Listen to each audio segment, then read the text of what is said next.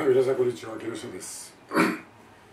えーと前回ですね、今度私が生徒と実際にどうやってレッスンをするかを詳しくお話しするということを申し上げましたけども、その前にどうしてもこれを、まあこれも実際あのレッスンで使ってますんでね、えーこれをお話ししたいというふうに思っております。えーまあ、このもの自体はですね、ワークシート、ワークシート。ちょっと書きますね、これ。ワークシート。ワークシート、ワークシートと呼んでますけども、これがですね、あの、英語を学んでいかれた方はですね、今後の必須の武器になります。これを理解してこれを使ってやっていきますとね確実に間違いない英語力が、えついていきます。もう実証済みです。でこのもの自体はあの私がですねあの前、えーある人と組んでその英会学校を始めたんですよ。この方法でね。で26年経ったんですが、まあ、3年ぐらい前にもその畳んじゃいましたね。その責任者はアメリカ行っちゃいましたよね。それ以外どこも使っていません。ただこれは非常に有効であるということで皆さんにどうしてもご理解いただきちゃって。そのレッスンを説明する前にですねそれであのご説明差し上げたいと思いますね。はいよろしくお願いします、はい。えーっとまずえーまずですね私が日本語で申し上げます。これから申し上げる日本語をですねえー聞いといてくださいね。よろしいですか。静香さんは今朝赤い傘を電車に忘れましたはい。今私が申し上げた日本語を聞いた時頭の中に何がありますか？文字がありますか？ないですよね。文法を考えてないですよね。強烈なイメージでしょ？イメージがすればカラフルなもんでしょ？立体的ですよね。で動画でしょ？3D のカラフルな動画のはずです。我々日本人にとって日本語は母国語です。その母国を聞いたり読んだりした時の頭の中にはその強烈な 3D のカラフルな動画が見えてるんですよね。でもう一つの例を挙げますとねこの前朝起きてですねちょっと窓を見たら窓が白いんですね。まさかと思って開けたらですねもう一面雪景色でした。はい。一面雪景色っていう漢字が見えますか皆さん。見えないでしょはい、えーそれじゃあですね、はい、先ほどの文章戻りますね、えー静香さんは今朝赤い傘傘を電車に忘れちゃいましたですね。誰が赤い傘を電車に忘れたんですか？静香さんですね。静香さんはいつ赤い傘を電車に忘れましたか？今朝です。えー、静香さんは赤いかあ今朝何を電車の中に忘れましたか？赤い傘です。静香さんは今朝どんな傘を電車に忘れましたか赤い傘です。あ静香さんは今朝何を電車に忘れましたか赤い傘を忘れましたね。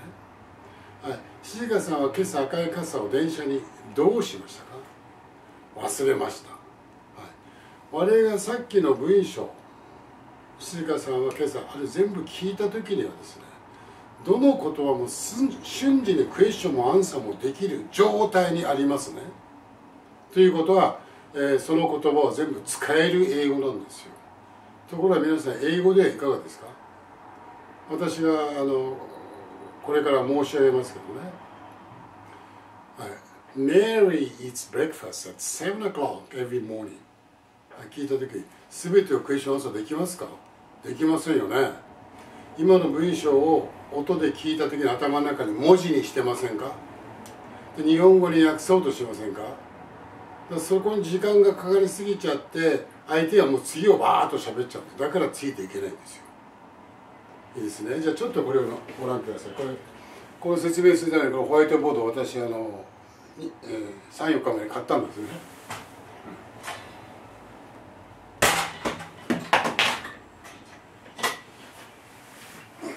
はい。先ほど私が日本語で申し上げた文章。静香さんは今朝赤い傘を電車の中に忘れました。こうですよね。はいじゃあ皆さん今の文章ですね。どうぞ。繰り返し言ってみてください。静香さんはどうぞ。言えますよねリピートできるんですよ。日本人が日本語を聞いた時は一つの文章とパッとリピートができる能力がもう備わってます。ちっちゃいところにちっちゃい時から日本語の生活をしてますんでね。2番目。静香さんはを聞く時に何というクエスチョンで始めますか？誰がでしょ？今朝いつでしょ？赤い傘を何をですね？電車の中にどこに、えー、忘れました。どうしました？っていう。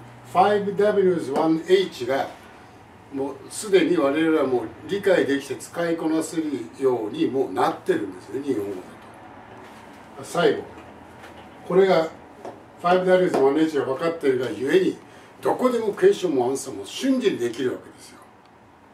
でこれがだからこの文章は聞いても読んでも分かるしどこでもクエスチョンもアンサーもできる。使える日本語なんですね、はい、じゃあ英語というものはアメリカ人にとって同じように彼らもそれはできるんですよ。ちっちゃい45歳の子供でもできるんです。我々はそれができませんね、はい、もう一回見てくださいこれ。はいえ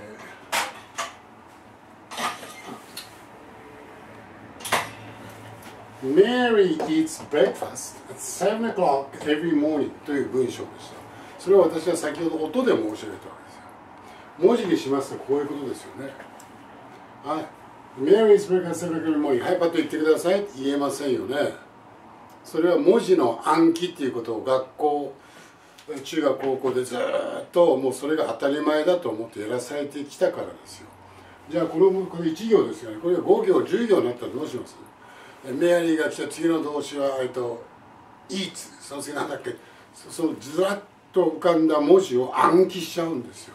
そんな苦行をやってるから英語嫌いになっちゃうんです。いいですか？あとは文法で主語だ、えー、なんだっけ？動詞だ、えー、目的語だとかねそんなことばっかやってるから。文章を分析してるだけでしょ。使えるようになってないでしょ。そっちに時間をかけないです。じゃあ具体的にどうするか。さっき言いましたねパッと聞いて1回で繰り返すようになるにはどうするか。クエスチョンアンサーも瞬時に出てくるにはどうするか。ということのために使うものがワークシートです、えー、それはもう前言いましたその前の学校で26年ありましたけどやってるんですよねこのワークシートを学んだ生徒たちは本当プロの通訳翻訳添乗員とかですね。なってね会社で英語の仕事を任されてといる日本人の生徒がたくさんそういう生徒を輩出してきましたんでね。これこれからお話しするワークシートがもう英語の必須の武器だというのは先ほど申し上げたとおりです。それじゃあですね皆さんいいですか？この英語の文章をですね 5Ws1H に分析するんですよ。一個一個まず覚える前に。あの英語では 5Ws1H って言いますけどねじゃあ Who, What, When, Where, Why これが 5W 1H が How ですところがね私はね 6Ws and 1H と思っていますなぜかと言いますと Which Which はね Who, What, Where, When, Why の中に入ってないでしょ私はこれも入れますということは 5Ws で 6Ws1H と考えてます、えー、まあここはいいですね。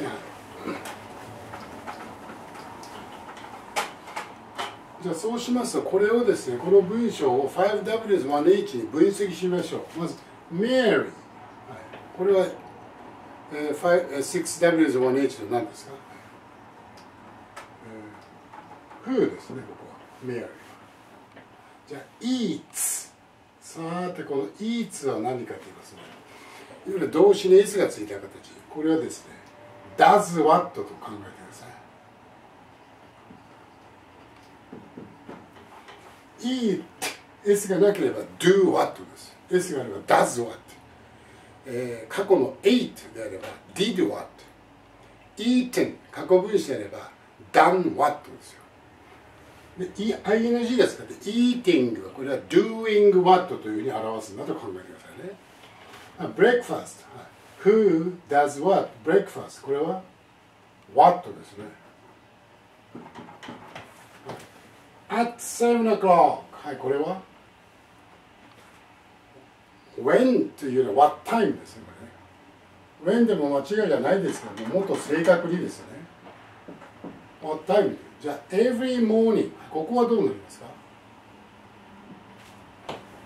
every morning これも when でも間違いじゃないけどもっと正確に言うならば how often ですね how often ということは Mary eats breakfast at 7 o'clock every morning という文章は 5Ws1H に分析しますとね Who does what? What? What time?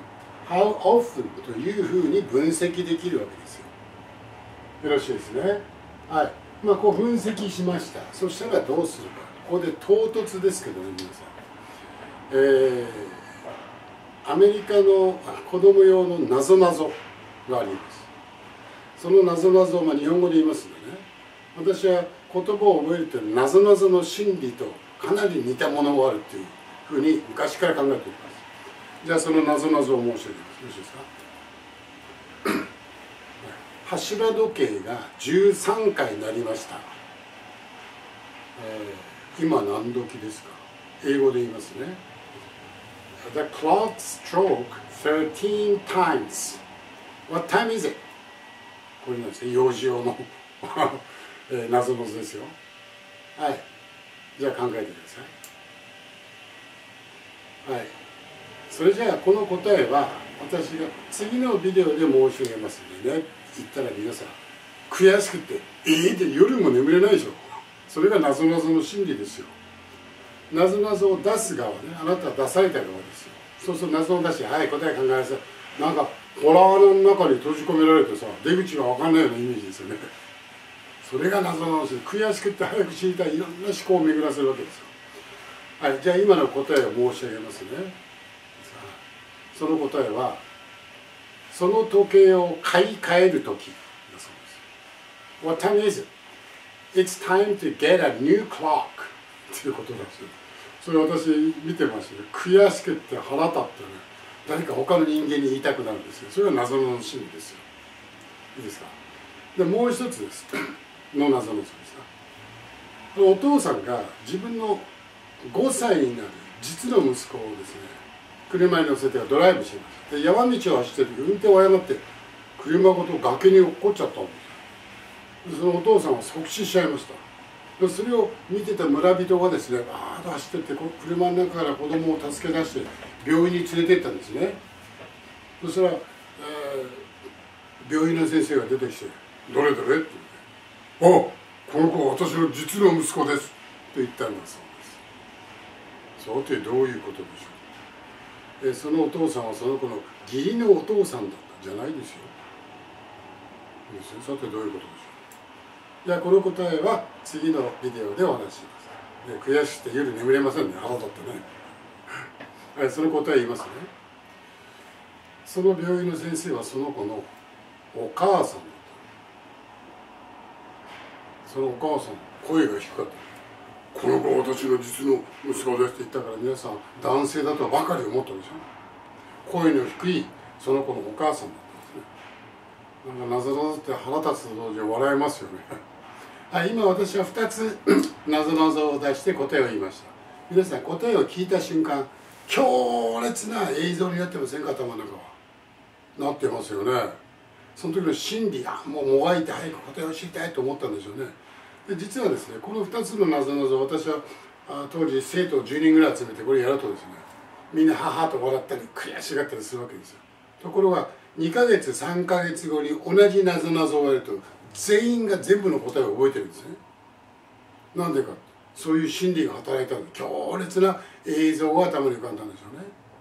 だからそういったものはなかなか一回聞いてほんの短い時間にやったなぞなぞの答えって長いこと忘れませんよね。それでも忘れたらもう一回言ったらあそうか。一生ものですよ。はい。そういうことですね、はい、じゃあなぜなぞなぞのお話をしたかと言いますといいですかね。赤で言いましょう。はい。Who does what what what time how often? これがですね皆さんに問いかけられてる一個一個の謎謎だと考えるんです。はい、Who という答えの謎謎謎謎は Mary 頭の中で映像を描いてください Mary の。描きましたか？そのメアリーの髪の色は何色ですか？ご自分なりに強烈に見てください。カラフルですよね。服の色は？はい。年齢はどれくらいですか、はい、メアリー 3D のカラフルな動画を見ましたね。はい。それでもこれもこれも終わりですよ。これもこれも。はい。その次。Eats does what ですね。does what の答えはさて何か。does what だからね。例えば studies かもしれない。walks かもしれない。eats かもしれない。はい答えは、はい、eats です、はい、メアリーも映像が見えましたね。メアリー eats ところが eats だけじゃ何を eats するか分かりませんね。ということはですね。eats その次 what breakfast. ここで映像を描いてください。そうすると Mary eats breakfast. これは一つの塊でしたね。Mary は一枚の映像で見ます。ね eats はまだ見えません。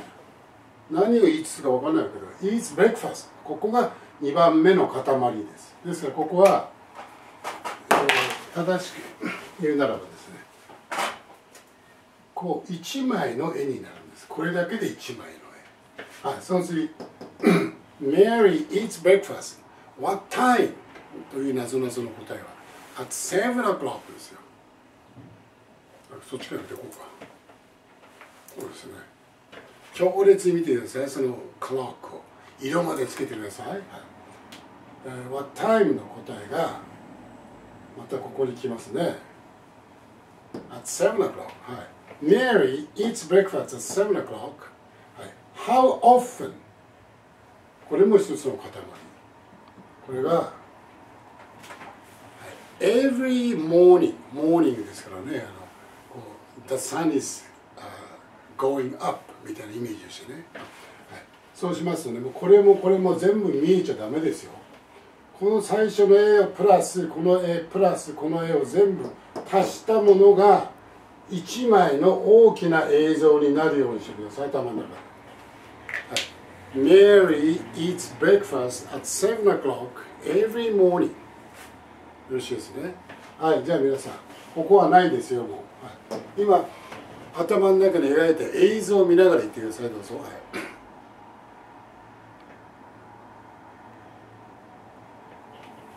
言えませんでしたか？頭の中に映像があるでしょ。はい静香さんはね どこに赤い傘を忘れてしまいましたか？電車の中でしてるけど映像が見えるでしょはい、こうやって頭に入った1枚の映像そうやって覚えていくんです。じゃあそうなると2番目にどんな得があるか。メリーをクエスチョンするときは Who で始めればいいですね。Who eats breakfast at 7 o'clock in the morning? じゃあ eats を聞くから。What does Mary do at 7 o'clock in the morning? Breakfast は what でしたね。What does Mary eat at 7 o'clock every morning? Breakfast What time does it, uh, what time does Mary eat breakfast every morning? At 7 o'clock every morning は How often does Mary eat breakfast at 7 o'clock? Every morning ですよということはこうやって入った映像として入った英語はですね一個一個全てクエスチョンもできるしアンサーもできるし、まあ、できるクエスチョンは少し練習しますよ Who is 全部ここは、えー、全部ちょこっと練習すると瞬時に出るようになりますそうなった英語。は一回聞いてもらう。Mary eats breakfast at 7 o'clock every morning. 今までと違って文字じゃなくて映像を見るでしょ。一発でいるようになります。どこでも皆さんがクエスチョンができるようになります。クエスチョンができることはアンサーもできるようになります。ということは 5W1H、まあ、英語だと私さっき言った 6W1H で全て、えー、映像で頭に入れるっていうことと最初のその言葉で始めればいいわけですよ。クエスチョンするときはね。そうこれが一石二鳥っていうかこれで英語を学んでいくんですよね。これで大変な成果を上げているということも、えー、さっき言いましたけどねもうこれで一回慣れちゃうとねものすごい楽です。ところが一回から「風出すわ」ってこんなこと一回書くの大変だということですね。とお見せします、はい、これ私がねあのまとめたものですけどね例えばですね見えますかねこれ What は WA What kind of は WKO、えー、What color は WCO ね What time は WT 例えば How は H How, え How many は WM How much は W、えー、と HWU ですね。省略形用です。これは私はちょっと拡大したんですがもっとちっちゃいやつを生徒さんに必ず私は差し上げています。その生徒さんは書かれた文章書かれた文章を覚える時には必ずこうやって Who does what what 省略形でバーッと書いていきます。ほんでこの意味の塊ですね。これ unit of information っていますつまり最初に見える映像の塊メアリー見えますよね。Eats 何を Eats か分かんないから Eats はまだ半分です。Eats breakfast あここで1枚の映像。At 7 o'clock At まで入りますよ。At 7 o'clock Every morning how often このワークシートを皆さん書いてもらいます。でそれを私が一時一句全部チェックします。はい。これを書き出すとね皆さん英語力がついてきたかついてきたなどうだなよくわかります。でこれを、えー、生徒さんお返しして生徒さんこのワークシートを見ながらこれを見ながらパッパッパッと頭の中で、はい、5行10行瞬時にもう言えるようになりますからねその後私が全部クエスチョンして生徒さんお答えになります逆に生徒さん私それ終わったらクエスチョンするの全部私が答えるというそれでその覚えた英語が使える英語になったということなんですねはいまあそんなとこですね、まあ、これがワークシート、まあ、非常に表面的なことしかお話しできませんが、まあ、時間の関係でちょっと長くなりましたけどね、えー、そういうことです、えー、それともう一つ最後にですねそのワークシート、えー、このワークシートについてですね先ほどこうやって書いてますね。それをお話して終わりますんでね、はい、例えばですね。3つの大きなリンゴ。英語でどう言いますか？3つの大きなリンゴ。ああさあ。Three big apples ですね。Three big apples です。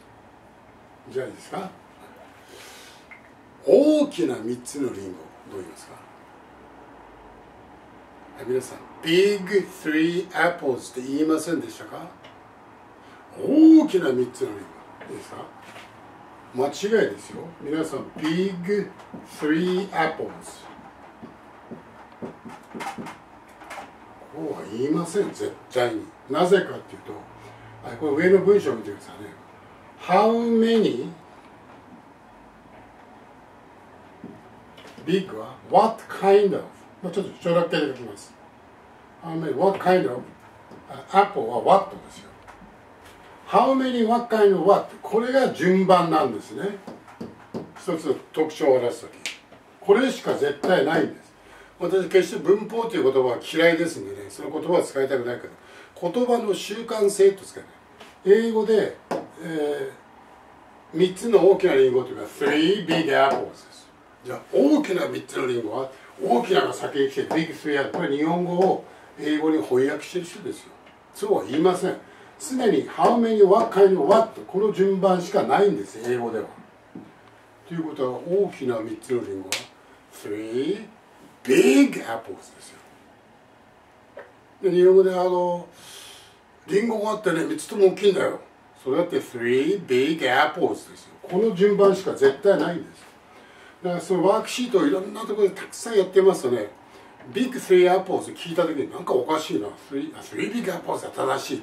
この順番が自然に頭に入ってきます。まあそれがいわゆる必要最低限の文法でしょうね。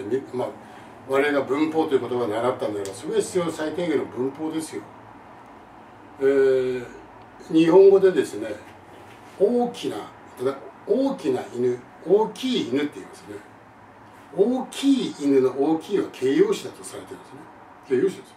いや大きな意味大きなは形容詞じゃないそうです。これ就職後就職後っていうんだそうですよ。そんなこと知らなくたって日本語ペラペラでしょ我々は。文法っていうのはやりすぎたらダメですよ。あのそこまでやんなきゃなんないのかと思うところまで。形容動詞何のことですか？ねそんなの知ったって日本語を話せるようにならないです。で日本語を学んでるアメリカ人がね大きいは形容詞で大きなは就職語ですと言ったってその人英語日本語を話せると限らないでしょう。あれ特殊な専門分野でしょあの文法というのは。言葉の習慣性これしかやらない順番しかないんだということをみたいなこと自然な形に頭に入っていることの方がずっと大事だということですね。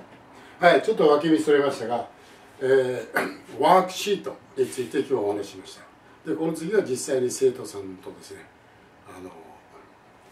レッスンをしている風景を細切りに出していきたいと思います。はい皆さんためになりましたでしょうかね。お役に立てましたか？はいそれでは、えー、今日はこの辺りまでとさせてですね、はい、頑張ってください。はい失礼します。